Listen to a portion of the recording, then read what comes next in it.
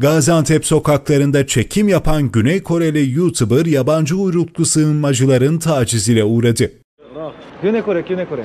Korea. Where from? Eşyalim. Turkey? Ha, Türkiye, Türkiye. Suriye. Türkiye, Suriye, Türkiye. Suriye. Türkiye biliyorum. Okay, okay. YouTuber'ın önünü kesen 3 Suriyeli YouTuber'dan para isteyerek fiziki tacizde bulundu. Bölgeden güçlükle ayrılmayı başaran Güney Koreli YouTuber söz konusu görüntüleri Gaziantep'e gitmeyin çağrısıyla paylaştı.